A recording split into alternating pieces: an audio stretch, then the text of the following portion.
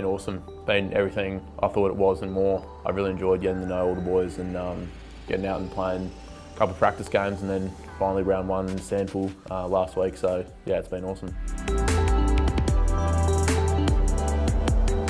Burnsy's been awesome for everyone in his first year as well at the club. He's been so good. I've learnt heaps off him. And also Brent Reilly's been awesome being the defensive SANFL coach. So yeah, I've learnt heaps off those both two so far.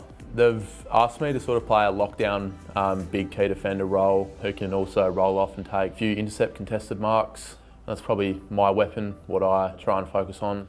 I played on Tex a lot. He's I've learnt so much off him. Um, and then in the back line, there's you know Smithy and um, Bull and dudes who give out great advice and have also helped me develop um, this far. So.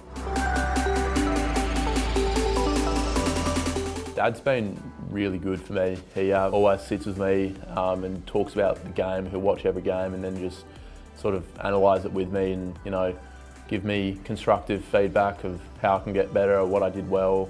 And also, Mum playing at the high level for netball. She's been really important in um, recovery and preparation side, which has also helped me, you know, prepare for games well and make sure I got the best opportunity for playing well.